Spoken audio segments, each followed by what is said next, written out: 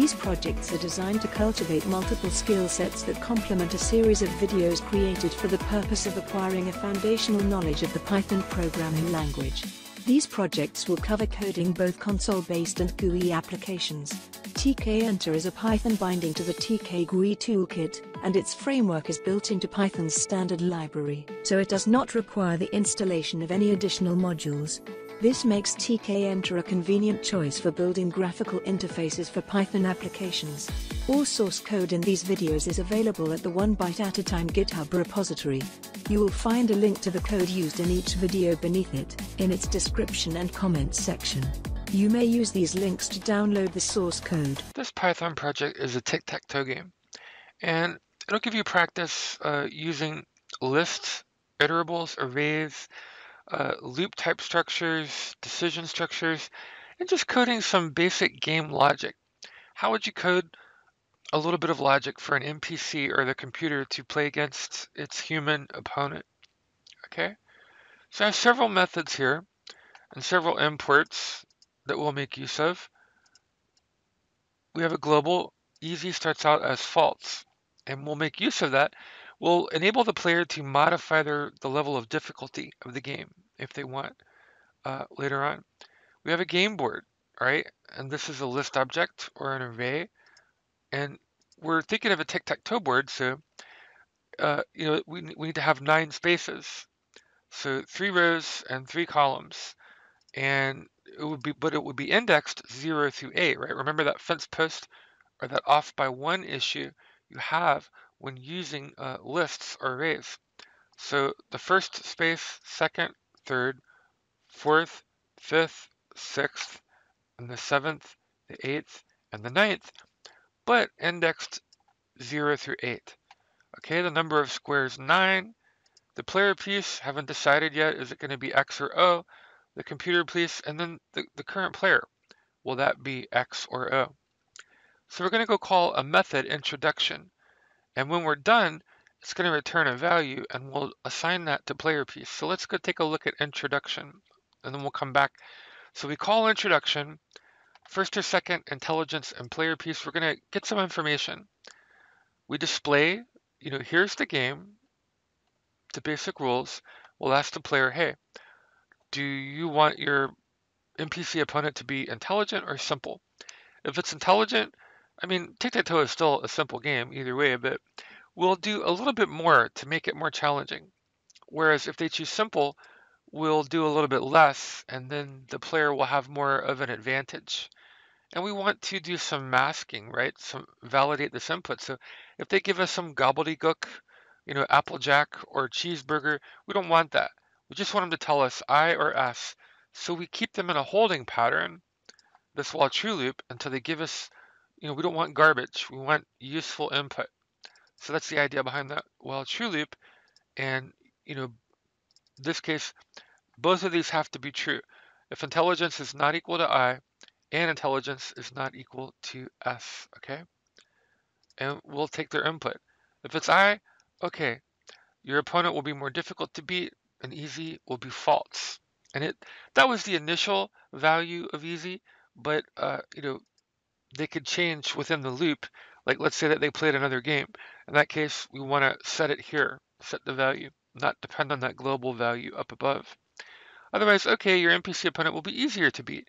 And then the value of easy becomes true, you know, either way.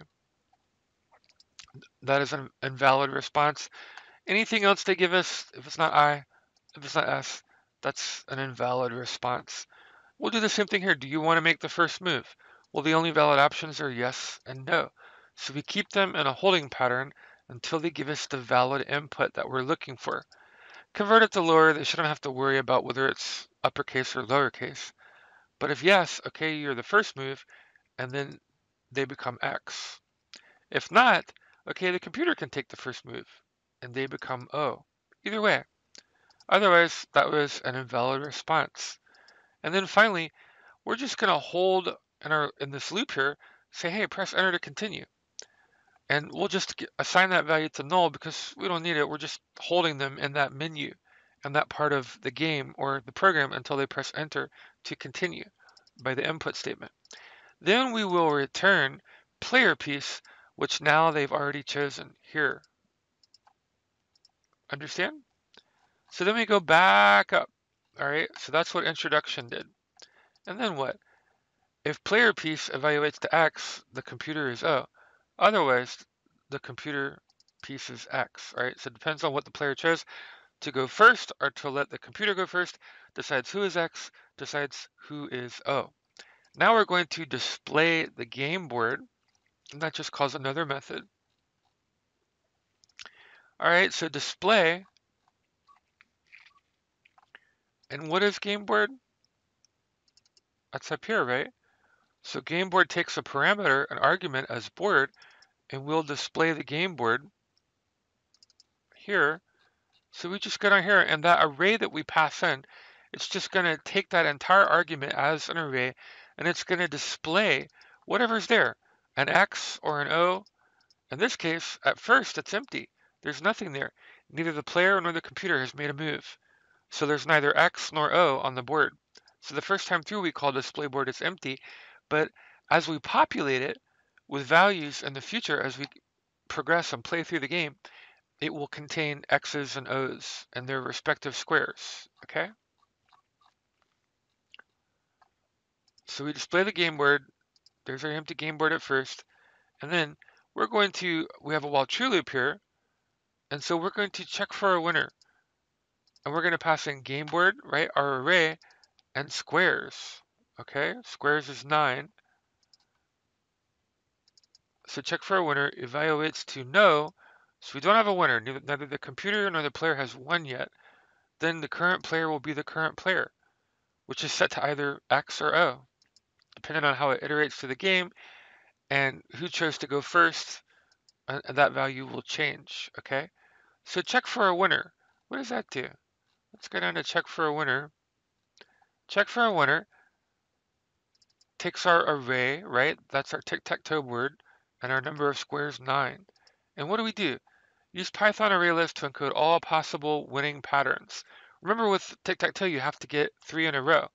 So you've got the, the, the possibilities here are three horizontal, 0, 1, 2, 3, 4, 5, 6, 7, 8. Those are the three horizontal ways that you might win. The vertical ways that you might win, 0, 1, 2, 3, 4, 5, 6, 7, 8. You know, think of the grid Python, and then vertically, you could go 048 and 246. So we have to represent in code and in logic uh, the ways that we can win this game. These are the winning rows, and we'll compare, we'll search these pat for these patterns to see if, if there's a winner for either the player uh, X or O or the computer X or O, okay? Total rows is 8 because remember you subtract 1. With, with arrays, with list objects, there's that fence post issue where it's always off by one. So yes, there's there's nine elements, but we don't count one to nine. We count zero to eight, right? So total rows, and then our columns, our, our rows and columns. If a row has three values that are the same, we have a winner. We'll either return X or O as the winner or a tie and end the game in this case, if, if nobody wins and all the squares and x's are filled up, okay? Or else we'll return n and keep playing the game. So how do we do that? For row and range of the total rows, right? The total rows is how many?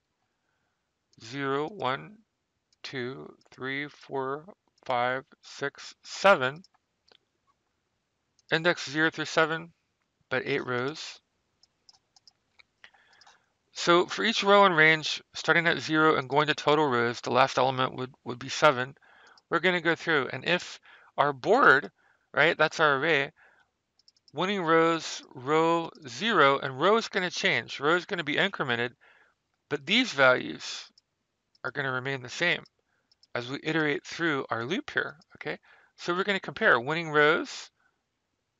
All right, so the first time through, it's this column here.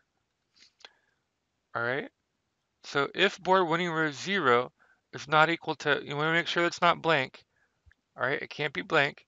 And if winning rows row zero evaluates to board winning rows row one, all right, so zero and one, so you know the horizontal, the you know, in this case, the row is the same, but the column, we're comparing columns. So if zero evaluates to be the same as, as one, and then one evaluates to be the same as two, well, what we're checking is, is there an X, you know, or, or an O, could be X, could be O, but is the same character at both zero, column one, one, column two, and two, column three, and that first row, okay? And we're checking for a win there okay? And then if, if all these conditions are met and there's a match, we'll return whatever character is stored at that location. Otherwise, we iterate to the next and we're going to go through and compare the next set of values. Well, if all of these were not all x or all o, are all of these all x or all o? Are all of these all x or all o? In other words, do we have a winning combination of either X or O? And that's all we're doing in this first for loop here. And if so, we'll, you know, we'll return what that character was, whether it be the computer, whether it be the, the player. If we don't have a winner, check for a possible tie. So no empty spaces evaluates to be true. And if, if we don't have any of those winning combinations, then what's the other possibility? The possibility would be a tie, in which case all the squares have been consumed and neither the player nor the computer wins. So check to see if empty spaces are left on the board to see if that's the case, right? If, if everything's been filled, game over. It's, it's a tie, right?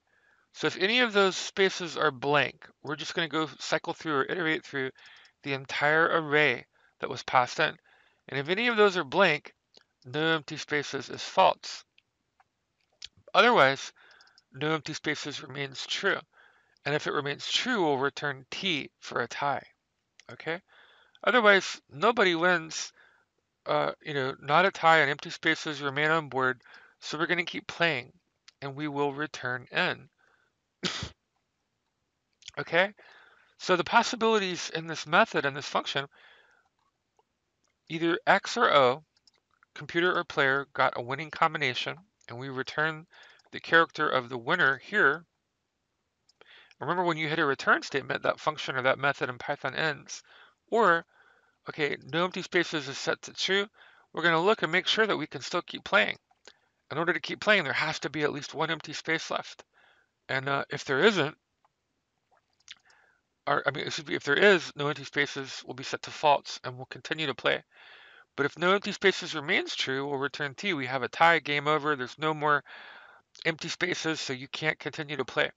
Otherwise, okay, nobody's won yet, no winning combination, and there's still empty spaces left, so the computer and the player can keep playing and we return n. Okay? So that's that's what happened so far. And now let's go back. That's as we call check for a winner, and then it's going to return, you know, a winner, X or O, or T for a tie, or n to keep playing. So as long as that method keeps returning, you know, the return value evaluates to be n, we will keep playing. So the current player will display, it's going to toggle back and forth, right? It'll go back and forth between the computer and the player. That's how you play tic-tac-toe. It's turn-based. Player, each player gets a turn, and then their opponent gets a turn. So we'll be switching or toggling that back and forth, and that's what we'll use current player for, and we'll just display who that is, X or O computer, or human. If the current player evaluates to be the player piece, you know, rather than the computer piece, then we know it's the player. We don't know until after runtime whether they're going to choose the first move or not. So we don't know whether they're going to be X or O. So we need a variable for that. So if the current player is the player piece, whatever that might be, X or O, they chose to go first or they did not choose to go first, players move. And then what player plays game board, squares, and player piece. We have to pass on these arguments. Remember that squares, that's 9, the value of 9. Game board is our array over here, which will hold, you know, be populated with values of x and 0 as the player or opponent chooses it. And the player's piece, whether they are x or o. So let's go see what player plays does. And then player plays. Okay. Human choosing location. You know, this function was written to process the player's decisions. There's a few things we need to do. We need to make sure that they don't try to, you know, if, if the computer has placed its piece at a position on the board or one of their pieces is there and it's not empty, we cannot allow them to place their piece over that. That's not allowed in tic-tac-toe. So we have to codify the rules. We have to code the logic for that, okay? So that's something that we need to check for. So player's move starts out at negative 1, while player's move is greater than squares, or player move is less than 0. Right, remember squares is 9, so while, while player's move is greater than 9, if, if they pick a position, you know, there's only 9 positions on a tic-tac-toe board but it would be indexed 0, 1, 2, 3, 4, 5, 6, 7, 8. So if they pick 9 or 10 or 100,000, those are invalid values. We have to validate or mask the input to make sure we get valid input. So it's greater than the 9, subtracting 1 would be indexed as 8 bit. Or if it's less than 0, what if they enter negative 5? Well, that's meaningless for a tic-tac-toe board.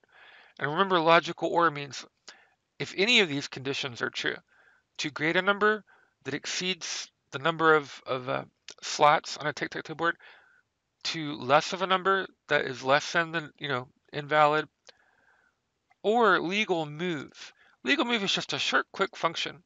And what do we do? We're going to look here and we're going to say return whether or not uh, that space is empty. So we'll return true if it's empty, it will return false if it's got a character there, an X or an O. So it can't be over the number, can't be under the number, and also there can't be a character already there. All right. So as long as that returns false, you know, and none of these are true. If, if any of these are true, it's, it's not a legal move. They can't do that. But if, you know, in this case, if all of these are not, you know, we have to keep them, we have to take their input, uh, you know, for their move. So choose a location 0 through 8, your move, and then we'll give them a little bit of feedback. If they choose too big or too small, that number is outside a valid range. And if legal move returns, uh, you know, if it, it returns false, hey, you, you can't do that. There's a character already stored there, okay? Whether it's the player's character, whether it's the you know, computer's character, it doesn't matter. They still can't overwrite it. That's just part of the rules or part of the logic for what we allow the player to do when they place their piece on the tic-tac-toe board. And then we'll just return that, okay? So if it's a legal move, we'll allow them to position their piece there. Uh, your move. And if, if not, we'll give them some feedback, okay? we return player's move from where player plays is called, okay?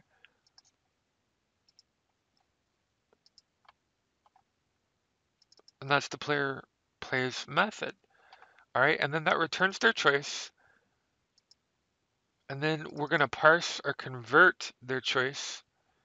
All right, so I have to shave off uh, extra from read host because there's like a, a terminating or null character on that string value. So we're just doing that here and then we're going to set the game board to be the value of their piece, be it X or be it at, you know, O, depending on what they chose at the beginning of the game, okay? Else, it's the computer's move. Well, if it's not the player's move, it's the computer's move. And the logic for the computer plays has to be different because we're not just checking to see whether or not it's a legal move and that the computer's not going to try to overwrite a character that's already there or choose you know, some value outside the range of a valid tic-tac-toe board, but we also have to somehow give the computer the logic or the algorithm for how to win the game of tic-tac-toe. How does it win? It has to get one of those winning combinations, horizontally, vertically, or diagonally, right? So we're going to go call computer plays. And the logic will be different from player plays. Let's go look at computer plays and see what happens. So we take in board all right, there's our array, our tic-tac-toe board, multidimensional array, squares, 9, the player piece, and the computer piece. Computer choosing a location. And I tried to comment this out to make this more transparent and verbose and, and you know easy to follow. If the computer can win on next choice, then make that choice.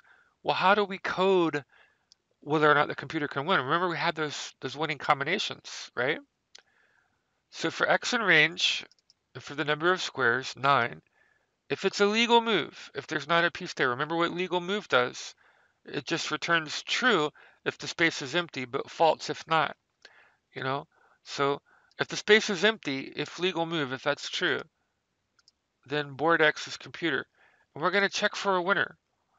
We're not necessarily going to permanently put our piece there yet, you know, the computer, but the computer is going to check and it's going to cycle through all those winning patterns. Remember what check for a winner does? Goes through all the winning patterns, horizontally, vertically, and diagonally. Okay? And if check for the winner, if remember that check for winner re returns either the player's piece or the computer's piece if either one of them has any of those winning patterns. And if that's the case, then we're going to return X, okay? And that'll be the computer's piece. That's determined runtime. It's dynamic. We don't know before runtime whether it's going to be X or O, so hence the need for the variable. So in this case, you know, whatever that piece is, uh, if it's a legal move, we'll make that move, and then after the computer makes that move, we'll check and see if it has any winning combinations, and if so, return X. Otherwise, we're done checking that choice if, if it can't make a winning move, and so we'll undo it. And it's just going to keep doing that, checking for a winner. It's going to go through every single square and check to see if if it adds its piece there, will it hit one of those winning combinations that we return from in the check for a winner method. Okay, so it's it's not actually putting that on the game board, but just like a human would. You know, a human would go through in their mind and their head, they would go through every possible winning combination and say, hey, if I place up my piece here, will I get it vertically? Will I get it horizontally? Will I get it diagonally? Well, this is how we teach the computer to do that. This is how we tell the computer how to do that. Okay? Um, now, the way we implement our level of difficulty, if easy is true, the computer will not try to block the player's winning move. It's only going to look for a combination where it itself could get a winning move, you know, from, from all the possible winning combinations. But it's not going to try to actively block the player. However, if this is turned off, if easy is set to false, it's not just going to try to get a winning move itself, but if, if it can't, by placing a piece on the board, get a winning move, then the next best thing is to block its opponent, right? If you can't win by placing your next piece on a tic-tac-toe board, then the next best thing is look for any winning moves that your opponent might have and block those winning moves. See? So in this case, we're going to go through and for y in the range of the number of squares 9, it, we're going to we want to check, make sure that it's a legal move. And then we're going to check the player and we're going to check for a winner and look at all the possible winning combinations of the player's piece. And if we have any winning combinations, we're going to want to, you know, the computer's going to want to place its piece there to block the player. All right. So done checking this choice, and then we'll undo it. All right. So we threw that on the board, but again, we're not permanently placing our piece our pieces on the board yet. This is just the, the computer. It's the way we code for the computer to go through in its mind and look at all of its winning combinations. And if it can't win, look at all the players' winning combinations. And if it finds one, place its piece there and block the, the player from that winning combination. If easy is set to be false and not true. And if no one can win on the next choice, if neither the computer nor the player can win on the next choice, pick the best open square. And you could modify this code and change it to be anything you want. But, you know, a lot of people start at the center square. Then you might start at the top left corner of the board or the bottom right corner of the board. You know, wherever you could play with this. You could come up with all sorts of initial values, but there, there's three basic. All right, does it have a winning move? If not, can it block the player from having a winning move if the difficulty is set to normal and not easy? Or if that's if neither one of those is the case, you know, say you're first starting out the game and the computer gets the first move, then how do you want to define the squares it chooses to be most advantageous when it starts. And the logic is the same there. So for all of the squares in the array, you want to make sure it's a legal move, and we'll try that. And if it's if it's a legal move if the space is empty and the value will be returned as true, we'll return choice. All right. So all of that is how the computer plays. So let's go back up to our original calling method. Way up here. All right. That's how the, the computer plays. And then it will return, all right? So in this case, n will be what gets returned there. And then the computer piece, whether it's x or whether it's o, will then be placed on the game board. As long as it's not a tie, as long as there's still an empty space, okay? And then display game board does the same thing, right? That's just a module of code. It takes care of, so we can reuse all this code, you know, by breaking this up into modules of functions, and making it more modular, we can just reuse uh, the, all that code to do whatever we want need to do. Display a tic-tac-toe board, whatever. Don't want to reinvent the wheel if we don't have to, right? If, if we code something, we want to be able to reuse it as much as we can. So sort of the idea behind polymorphism, behind classes, behind creating and writing your code in functions in Python. Okay, so we'll display the game board. And we're just going to toggle. If current player is player piece, then, you know, if it was the player's turn, now it's the computer's turn. Otherwise, if the current player, if it was, then it was the computer, then the next player is the player. So just, this just toggles, this if-else structure here just toggles back and forth between the computer and the player, giving them each a turn because tic-tac-toe is a turn-based game. And finally, display winner, we just want to display winner here, we're going to check for a winner. Okay? And that's when this condition is no longer true. We've either tied or we've returned X or O as a winner. We fall out of scope here. And we're just going to go call check for a winner again. And it's going to go through and look at the computer piece and the player piece and display the winner and we'll exit the game. Okay, so hopefully that's hopefully that's straightforward there. Um, we've gone through all the, the different methods here. Display winner, let me go up here, display winner.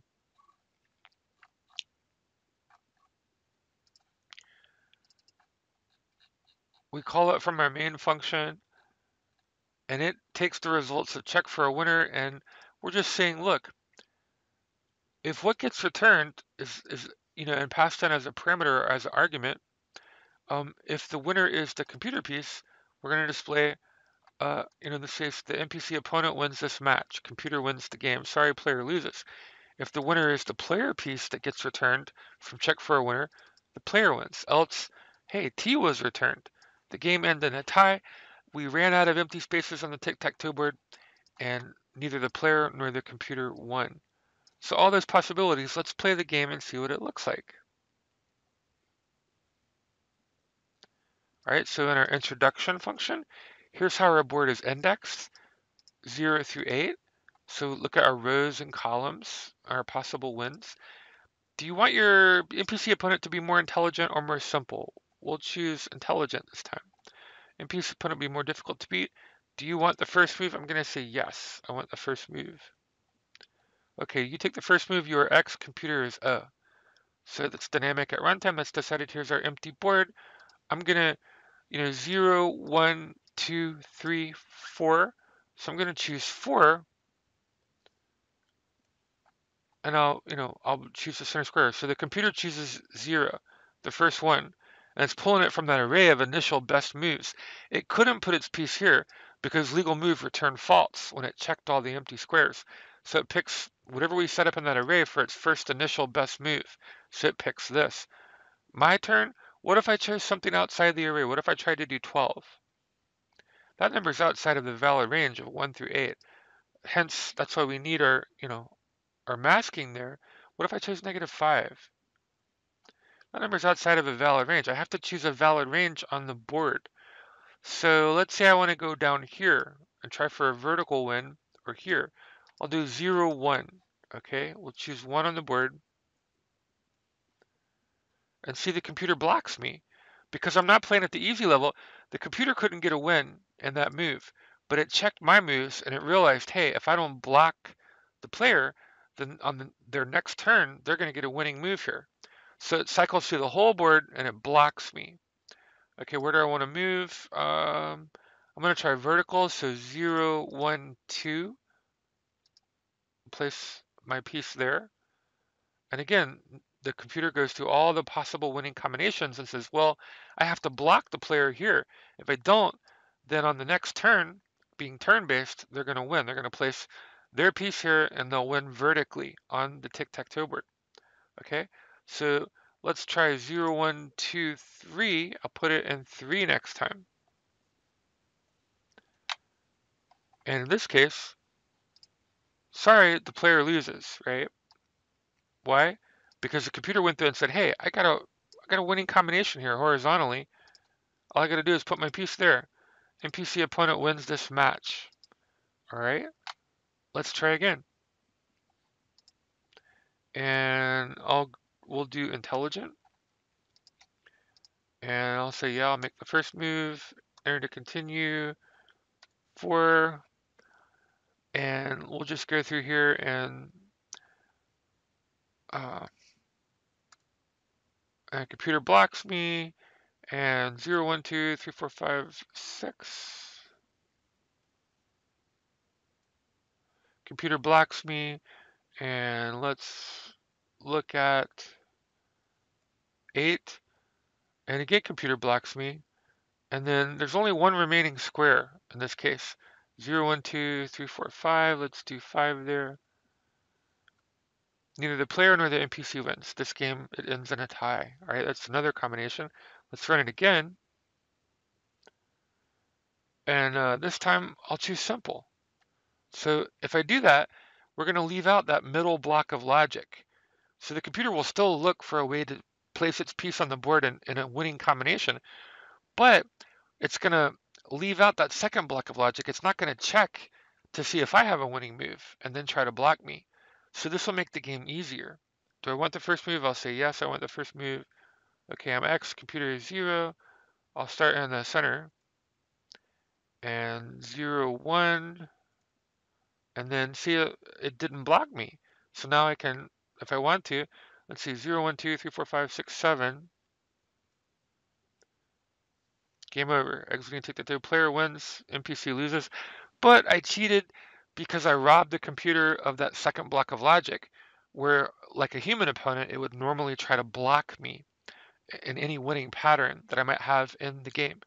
So this is just kind of a fun game that can give you a lot of experience and practice with lots of different Python topics and structures.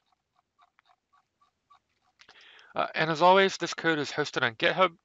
So feel free to download the code. Uh, the links are posted below the video.